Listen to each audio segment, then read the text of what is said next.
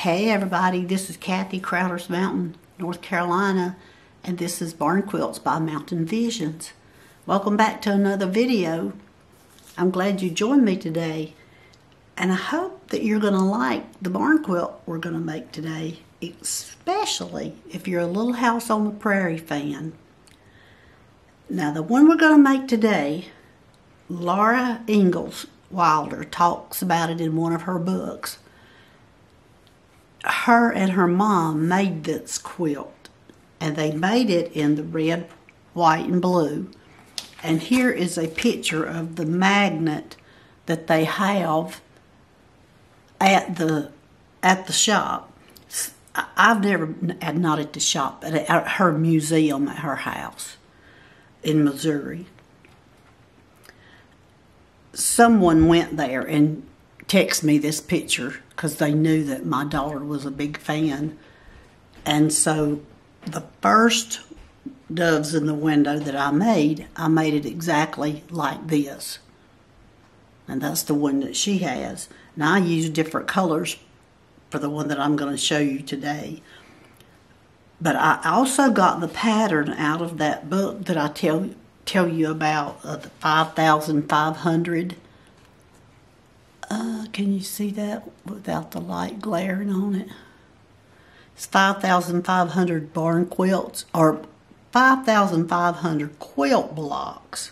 Not barn quilts, but you can make one out of them. But anyway,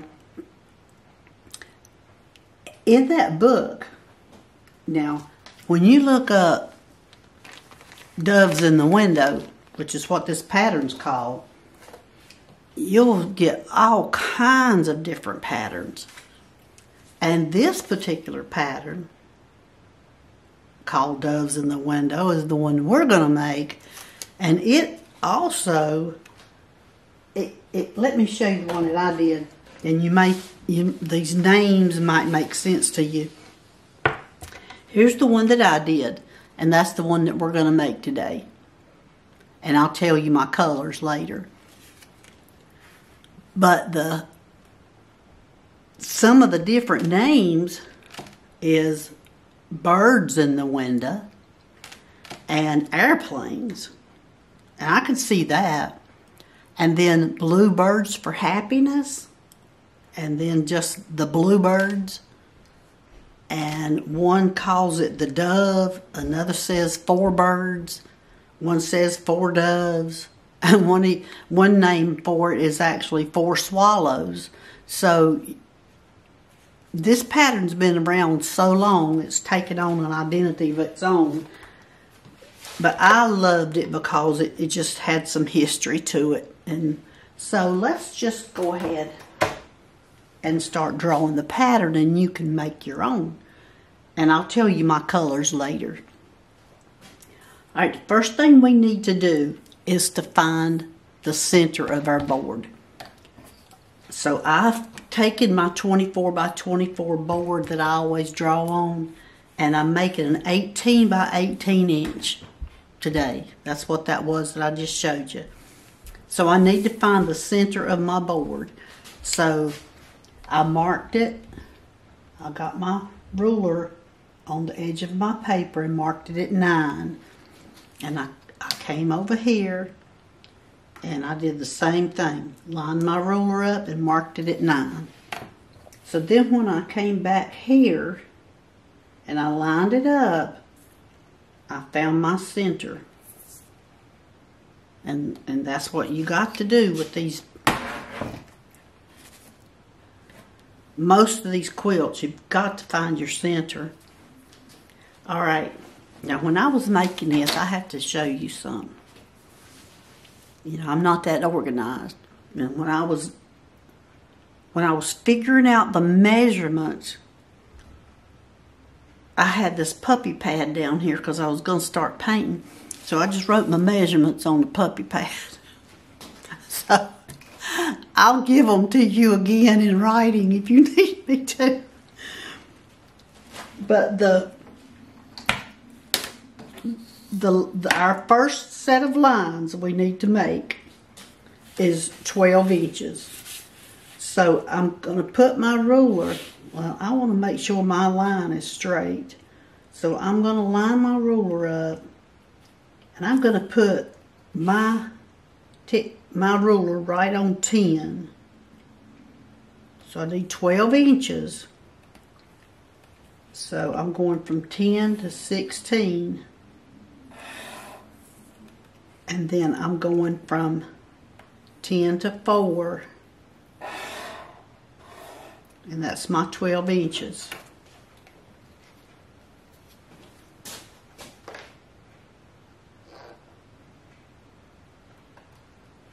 Okay. You know, I probably need to make that line a little bit darker for you guys to see.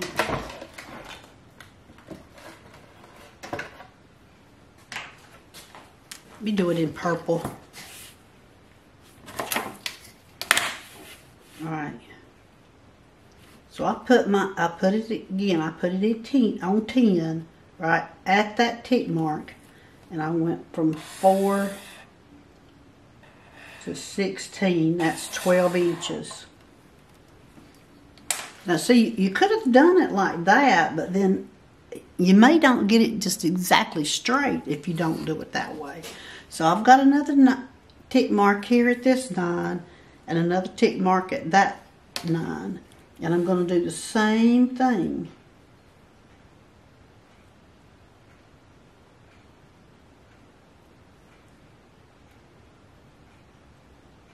Get it lined up. I'm going from 4 to 16.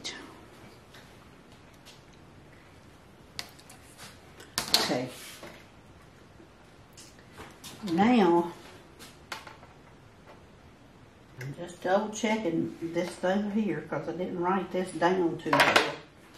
Um, so now what we need to do is get, I, I went, I got a yardstick now. I, I had that two foot ruler, 24 inch, but now I'm, I got a yardstick because I want to get right on that corner and right on this corner so my lines are going to intersect right here at that center point. And and I'm just I'm at 13 so it don't really matter where you are just add 6 to it. And that'll be 19 and take away 6 and that will be 7 one, two, three, four, five. Yeah. so let's put it on 13 again so I can confuse y'all even, even more. So all I'm doing is making, these lines are 12 inches long. And you've got to intersect that. So it's 19 and 7.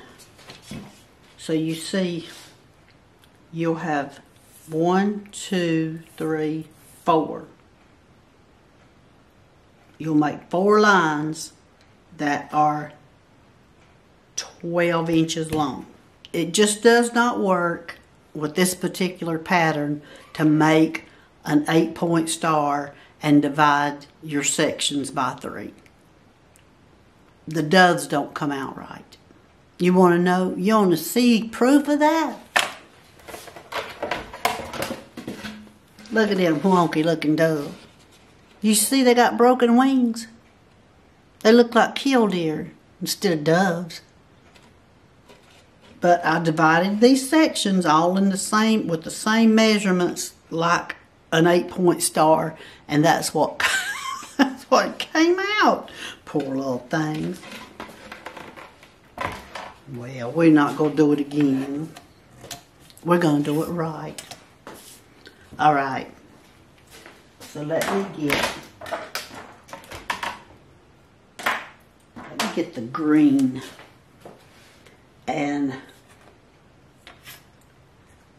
here's what we're going to do now. So you see this line and this line.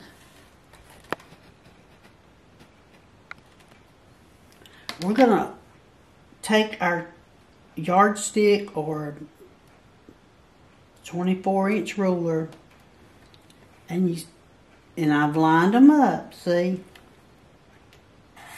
So I'm to draw it down. I'm to go back over here and I'm to do the same thing and it looks like that we're going to draw that eight point star.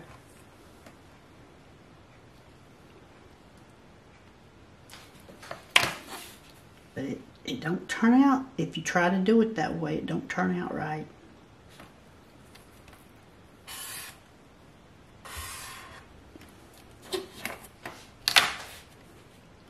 So now I'm just lining these up again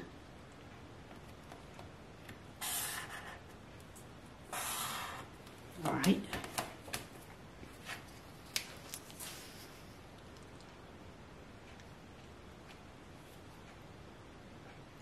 Okay, now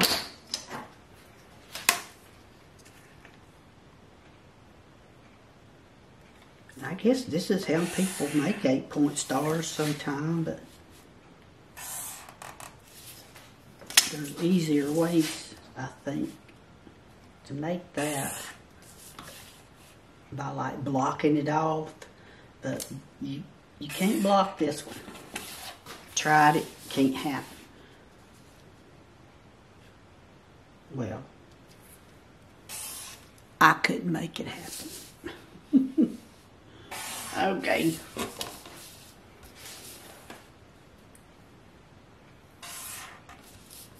All right, see now we've got our eight point star.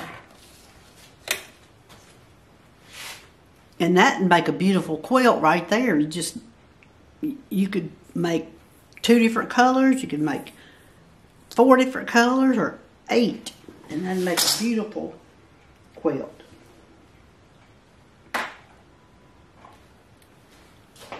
So here's what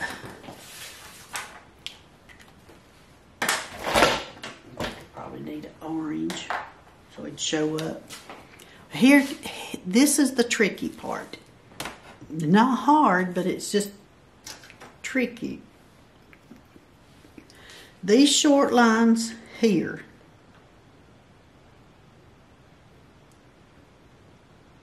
Yeah, these short lines, so in your corners right here, all four corners, those need to be divided into three sections. And the way the math comes out, it's 1.58 inches. So like 1.6. And so I've got my, I found 1.58 on my ruler and I'm, and I wrote it in permanent ink. And that black mark there is another measurement for another day. But I just wanted to show you what I've done.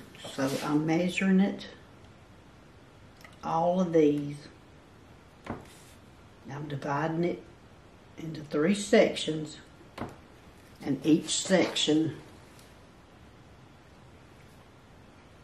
is at 1.58.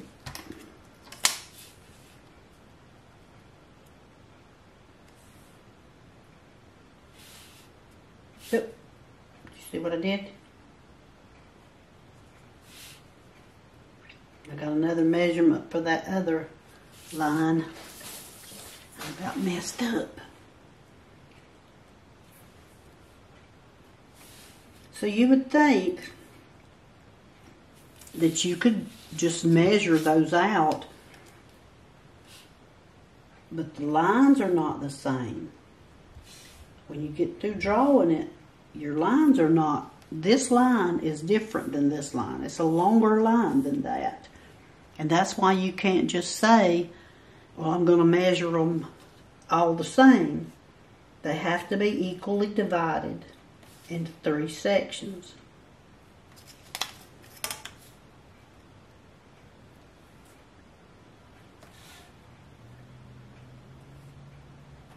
Now it's, again, it's the ones that's on the corner. All right, now for the other ones that's in your triangle here, that needs to be at 1.75. So you won't have any trouble finding that. Just one inch and then three fourths. So it's 1.75 or one and three fourths. And that's the that's that other mark that I had. And we're going to divide each one of those in three.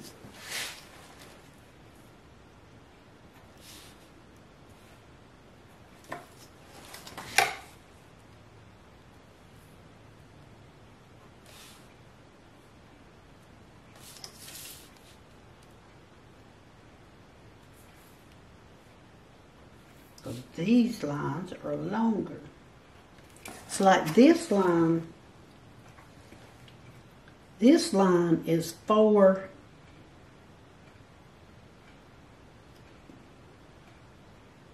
four and three quarters. But this line is five and one quarter. That's why your measurements are different.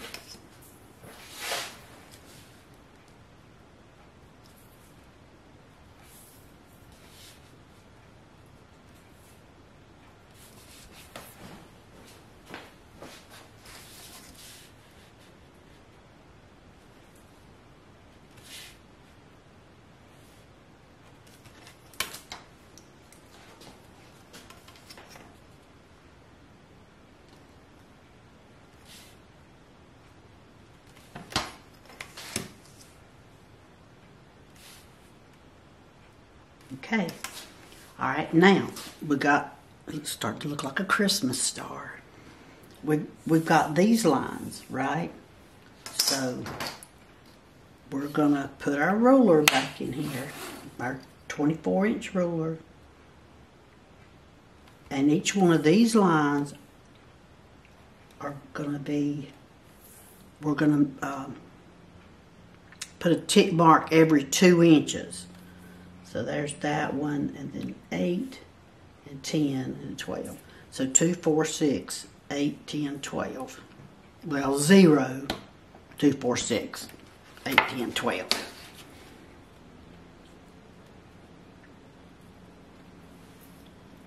Two, four, and that's six, eight, ten, and that's twelve.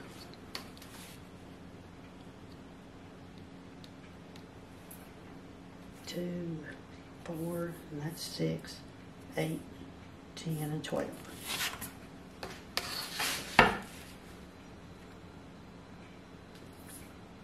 Two, four, six, eight, ten, and twelve. All right, now look what we got. We're almost done. So here's what we do now change colors, right?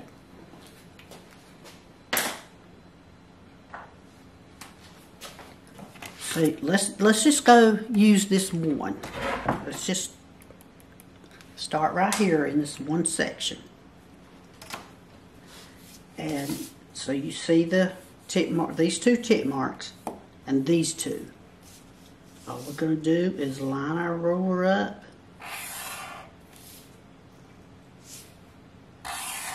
and we're making those lines. Now, see how uneven they are? That's what drove me crazy, but that's okay. And now we're just going to connect the other two. All right. Now let's just go go around it.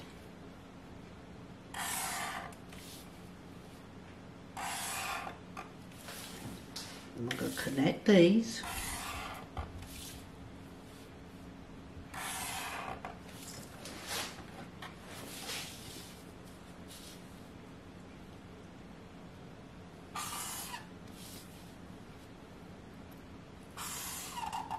See how these intersect each other or they meet. They meet together. They don't intersect.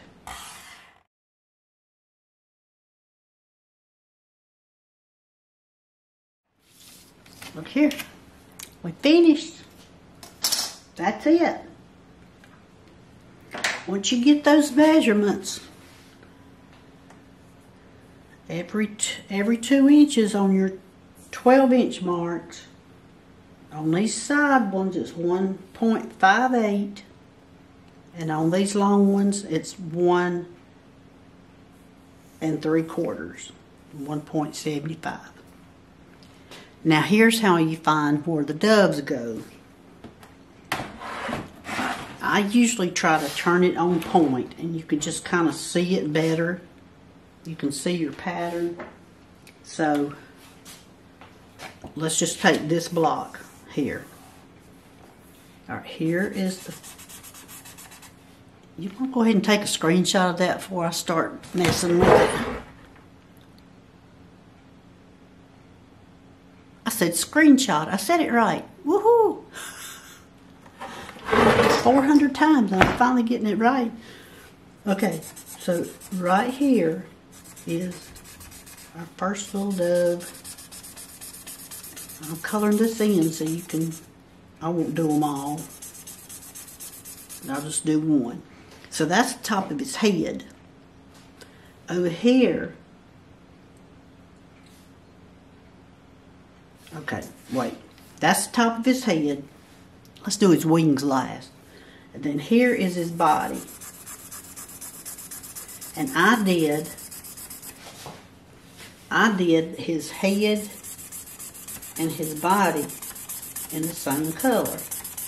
So what you end up with right here, see, is a diamond shape.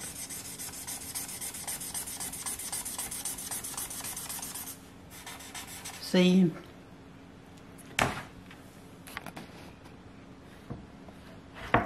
You might want to take a screenshot of that too. Alright, then I actually used a lighter shade of the same color for his wings. So I'm not sure how I can do that for you. Here's another orange, but I doubt it'll be the same. But it, anyway, if it's different, you'll see what I'm doing. Here, here's his head. Okay, you're in the next block now, the next diamond shape over. And here is his wing. And then go over to the right, you're in the next diamond shape. And there's his other wing. And this is what gives people trouble if they try to just make a regular Lone Star. It's not going to come together right.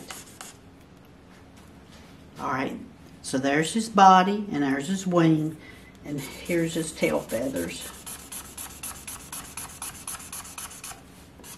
So you'll see that I use different colors for his wings and his tail feathers than I did for the body. All right, you want me to do one more? So the one beside of it is this one. We, and see, we won't be drawing a dove here. You skip one and draw a dove in the next one. And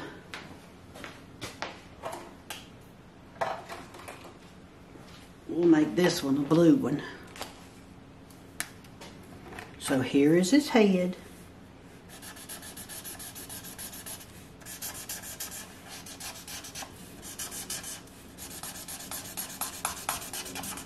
And here's his body. And see, I, I just taped all that up at the same time.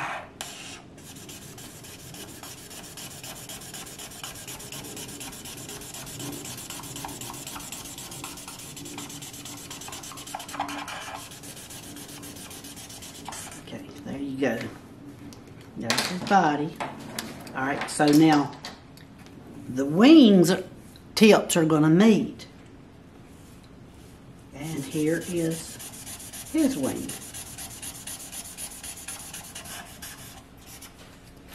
Then here's his other wing. We went over into the next block.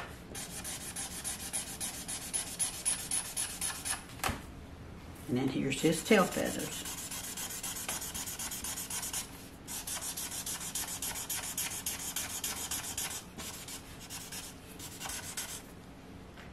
Okay. Now, I put um, three coats on everything except for the bodies. And I used four coats on there because it just didn't seem like it was getting dark enough. Okay, I'm going to go ahead and do two more just in case you didn't get it. But if you want to flip like uh, fast forward to get to the end, you can. but I'm going to show you these, this section right in here too. All right, so let's do this again. All right, here's the bird. We skipped this one, and now we're right here. And he's going to be orange.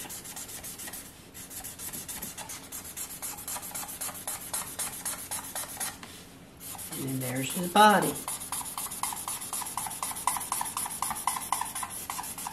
I'm just doing this real quick so y'all can y'all can take a screenshot of it. All right, now see here's here's his wing. It's gonna meet at the tip of that wing. And we're going into the next section right here. I'm gonna show y'all what I what I try to do when I get through with this and I'll show you my paints.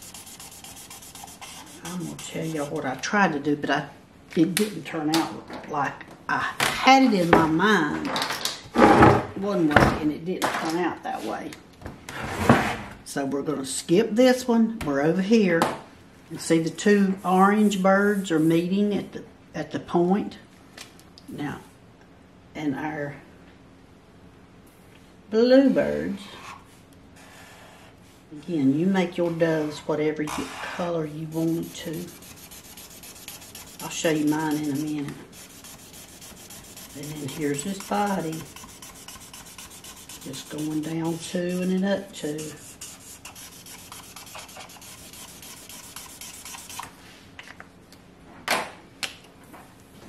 Here's wings. See how them wings come out just right? If, if I hadn't have done that weird.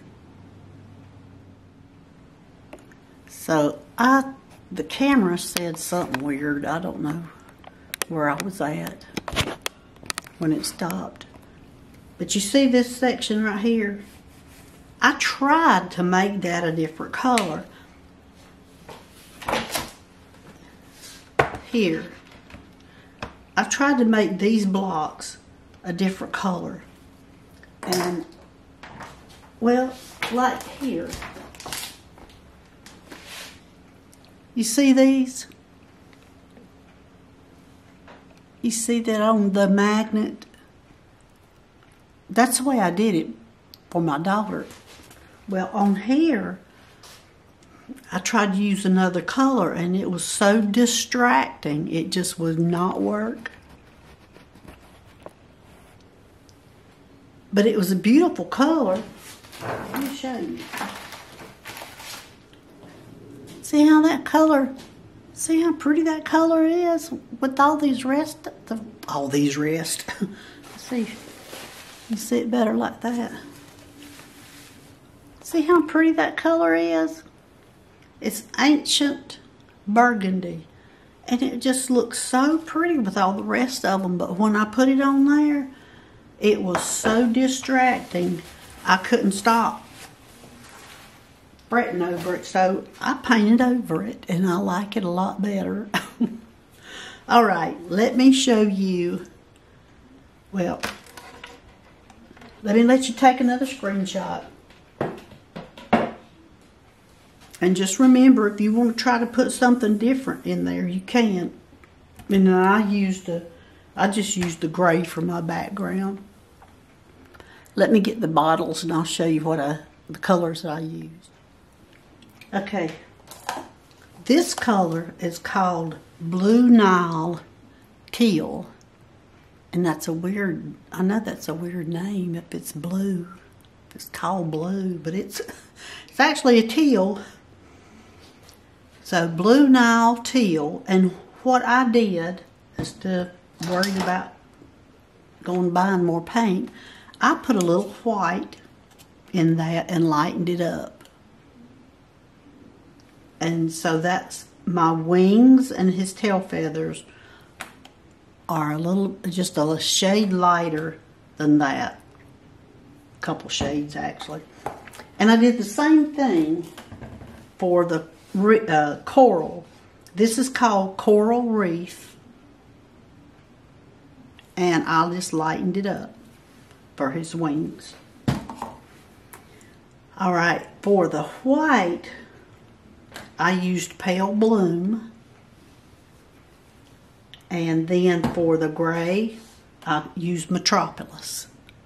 Now, all my paints, all these paints happen to be Valspar Season Flex.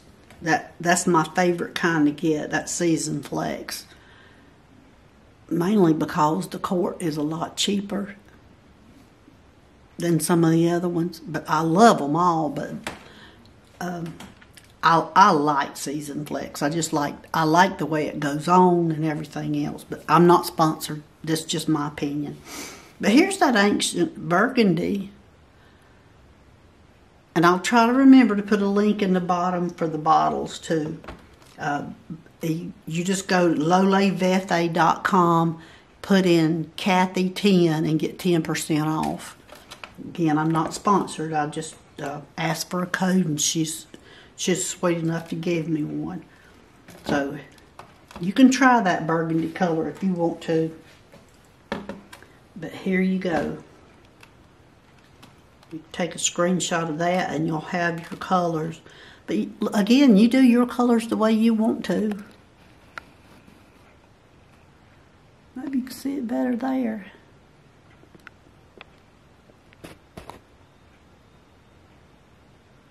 Okay, there you go. Take a screenshot here. All right. So I'm losing my daylight. It's getting late in the evening.